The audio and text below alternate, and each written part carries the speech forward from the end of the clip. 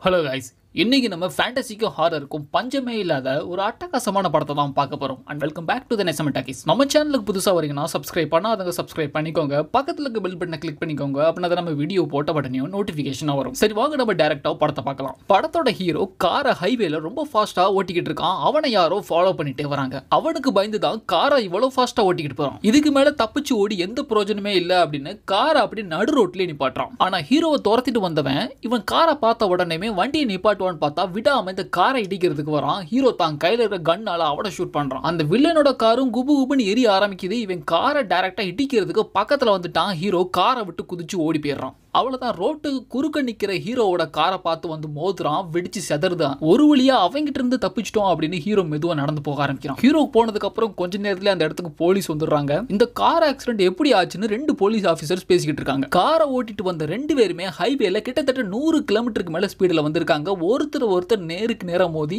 ரெண்டு பேருமே ஸ்பாட்ல இறந்து போயிட்டாங்கன்னு நினைக்கிறேன் அப்படின்னு அப்படின்னு ஒரு போலீஸ் ஆஃபீஸர் இன்னொரு போலீஸ் ஆஃபீஸர் கிட்ட சொல்லிக்கிட்டு இருக்காரு. ஹீரோ எங்க போறதுனே தெரியாம ஹைவேக்கு பக்கத்துல இருக்கிற ஒரு ஹோட்டலுக்குள்ள போறோம் அங்க போய் அன்னைக்கு நைட்டு மட்டும் ஸ்டே பண்றதுக்கு ஒரு ரூம் புக் பண்றான். இவன் சாப்பிட்டே கிட்டத்தட்ட பல வாரம் இருக்கும் போல இருக்கு. சாப்பாடை கண்ணில் காட்டின உடனேயும் காஞ்ச மாடு கம்புல பூந்த மாதிரி ரொம்ப வெறித்தனமா சாப்பிட்றான். இவன் சாப்பிட்றத பார்த்துட்டு அங்க இருக்கிறவங்க எல்லாம் ரொம்ப வித்தியாசமா இவனை பார்க்க ஆரம்பிக்கிறாங்க. இதெல்லாம் இப்படி ஒரு பக்கம் போய்கிட்டு இருக்கு. ஹைவேல ரெண்டு போலீஸ் ஆஃபீஸர் ஆக்சிடென்ட் ஆன அந்த கார் பக்கத்தில் நின்றுக்கிட்டு இருக்காங்க. திடீர்னு அந்த காருக்குள்ள இருந்து ஹீரோவை துரத்திட்டு வந்த வில்லன் எந்திரிச்சு வரான் இவன் எங்க இருந்து வரான் அந்த போலீஸ் ஆஃபீஸர்ஸ்க்குலாம் ஒண்ணுமே புரியல. ஏன்னா அந்த இடம் ஃபுல்லா தக்க தக்க தக்கன்னு நெருப்பா எரிஞ்சுக்கிட்டு இருக்கு. இந்த வில்லன் அந்த இடத்துல பார்த்தவொடனே போலீஸ் ஆஃபீஸர்ஸ்லாம் அவன்கிட்ட சர மாதிரியே விசாரிக்க ஆரம்பிக்கிறாங்க. இந்த கார் ஆக்சிடென்ட் பண்ணதே நான் தான். என்கிட்ட இருந்து ஒருத்தன் தப்பிச்சு போயிட்டான். அவன் ரொம்ப மோசமானவன். அவனை நீங்க எப்படியாவது கண்டுபிடிக்கணும். அப்படி இல்லைன்னா நீங்க பெரிய பிரச்சனைல மாட்டிக்குவீங்க. அப்படின்னு இந்த ரெண்டு போலீஸ் ஆஃபீஸர்ஸையும் பிரெயின் வாஷ் பண்ணி அவங்க கூடயே ஹீரோவை தேடி இந்த ஹோட்டலுக்கு வந்துகிட்டு இருக்கான். கரெக்டா ஹீரோ இருக்கிற ஹோட்டலுக்குள்ளேயே போலீஸ் ஆஃபீஸரோட இந்த வில்லன் நுழைகிறான் இவனை பார்த்த உடனே ஹீரோ பயங்கரமா ஷாக் ஆகுறான். அந்த ஹோட்டல்ல இருக்க ஒரு சின்ன பொண்ணோட கழுத்துல கத்திய வச்சு நீங்க எல்லாருமே இந்த இடத்துல இருந்து போயிருங்க. அப்படி இல்லைன்னா அந்த பொண்ணை கொண்டுடுவேன்னு ஹீரோ மிரட்டுறான். அப்ப வில்லன் சொல்றான் நீ அந்த பொண்ணை கொல்ல மாட்டேன்னு எனக்கே நல்லா தெரியும். நீங்க யாருமே பயப்பட வேணாம். அவனால எதுவுமே பண்ண முடியாது. அப்படின்னு வில்லன் அடிச்சு சொல்றான். அதே மாதிரியே ஹீரோவும் கத்தியை கீழே போட்டுறான். அவ்வளவுதான். அதுக்கப்புறம் ஹீரோவை அரெஸ்ட் பண்ணிடுறாங்க. அவனை போலீஸ் ஸ்டேஷனுக்கு கூட்டிட்டு போலாம் அப்படின்னு நினைச்சுக்கிட்டு இருக்க நேரத்துல வில்லன் ஒரு விஷயம் கேட்கறான் இவங்க கிட்ட பாக்குறதுக்கு சாவி மாதிரி ஒரு பாட்டில் இருக்கும். அதை யாராவது பாத்தீங்களா அந்த பாட்டில் யாராவது பார்த்துருந்தீங்கன்னா இந்த பெட்டியில வச்சிருங்க.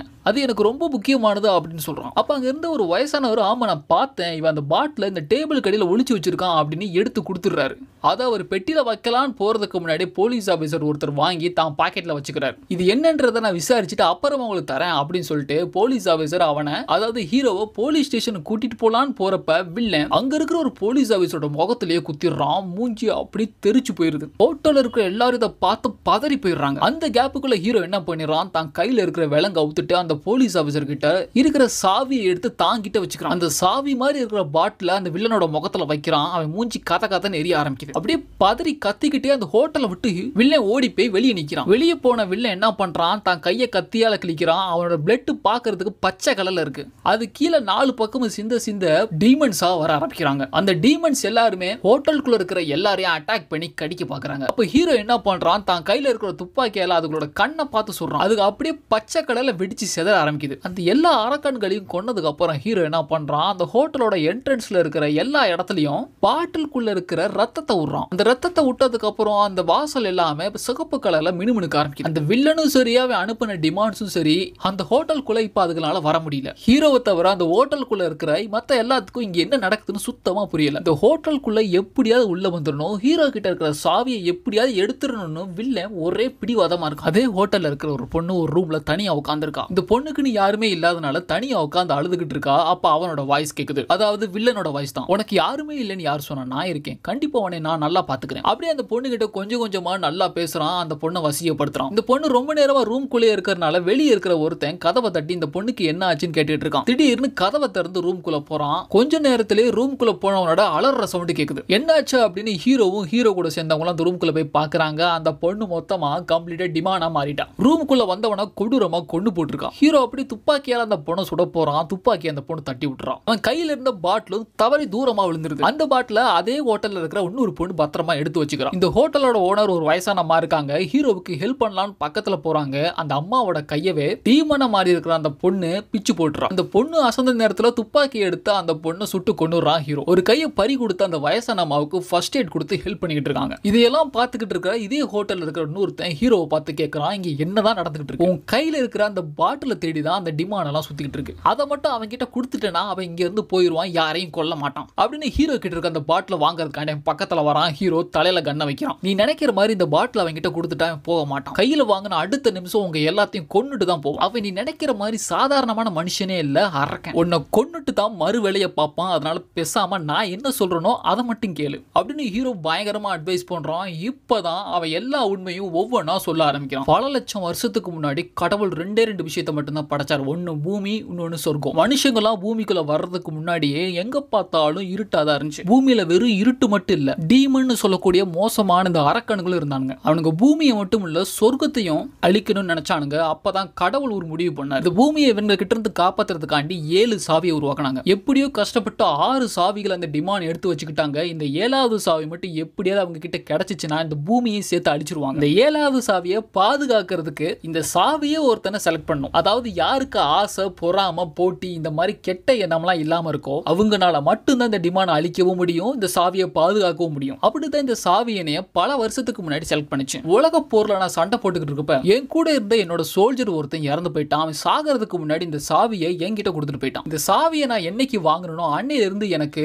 டிமாண்ட்லாம் யாரு நான் என்ன பண்ணணும்ன்ற எல்லா விஷயமும் எனக்கு புரிய ஆரம்பிச்சிருச்சு. அன்னையில இருந்து இன்ன வரைக்கும் பல வருஷமா இந்த சாவியை பாதுகாக்கிறதுக்காண்டி நான் ஓடிக்கிட்டே இருக்கேன். அப்படின்னு ஹீரோ சொன்ன உடனேயும் ஹீரோவுக்கு ஆப்போசிட்ல இருக்கிற ரொம்ப வருத்தப்படுறான். இது தெரியாம நான் உன்னை தப்பா நினைச்சிட்டேன். நீ பெரிய ஹீரோ தான். உலகத்தை காப்பாத்துறதுக்காண்டி டீமன்ஸ் கூடயே சண்டை போட்டுட்டு இருக்க அப்படின்னு கை கொடுக்குறான். கை கொடுக்குற நேரத்துல அவனுக்கே தெரியாம அந்த சாவியை எடுத்து இவன் வச்சுக்கிறான். ஒரு வயசான பெரியவர் இருக்காரு. அவரால் குடிக்காம இருக்கவே முடியாது. அவரோட வீக்னஸ் தெரிஞ்சுக்கிட்ட அந்த அரக்க என்ன பண்றான்? அவரை சுத்தி ட்ரிங்க்ஸ் இருக்கிற மாதிரி ஒரு இமேஜினேஷனை உருவாக்கி அந்த பெரியவரை வசியப்படுத்தி அவரையும் அரக்கனா மாத்திடுறான். அரக்கனா மாறின அந்த பெரியவர் ஹீரோவை போட்டு அடி அடி நடிக்கிறாரு அந்த சாவியை எடுக்க பாக்குறாரு. ஹீரோ இப்ப வேற வழியாம என்ன பண்றான்? அந்த பெரியவரோட தலையை கத்தியால் வெட்டிடுறான். வெட்டினதுக்கு அப்புறம் அந்த பெரியவருக்கு உயிர் போக மாட்டேது. அவர் ஹீரோவோட கழுத்தை நெரிச்சுக்கிட்டே இருக்கார். ஹீரோ கூட பக்கத்தில் இருக்கிற ஒரு பொண்ணு என்ன பண்ணுறா கன் எடுத்து அந்த பெரியவரோட தலையை பார்த்து சுட்டுறா அவ்வளோதான் அரக்கணா மாறின அந்த பெரியவர் அந்த இடத்துல இறந்து போயிடுறாரு. இப்படி நடந்துகிட்டு இருக்க இந்த சண்டையில ஹீரோவுக்கு ஹேண்ட் ஷேக் கொடுத்தால ஒருத்தன். அவன் என்ட்ரன்ஸ் பக்கத்துல நின்றுட்டு இருக்க ஒரு அரக்கனை சுடுறேன் அப்படின்னு சுட்டுறான். அவன் பிளாஸ்ட் ஆன நேரத்துல அந்த என்ட்ரன்ஸும் சேர்த்து பிளாஸ்ட் ஆயிருது. அதனால ஹீரோ போட்ட அந்த தடுப்பு வளையமும் பிரேக் ஆகி உள்ள எல்லா அரக்கனுக்கும் வர ஆரம்பிக்கிறாங்க கிட்டத்தட்ட பத்து பதினஞ்சு டீமன்ஸ்க்கு மேலே ஹோட்டலுக்குள்ளே வர ஆரம்பிச்சிருச்சு. இவங்களால சமாளிக்கவே முடியல. அந்த ஒரு கை போன அந்த வயசான அம்மா என்ன சொல்கிறாங்க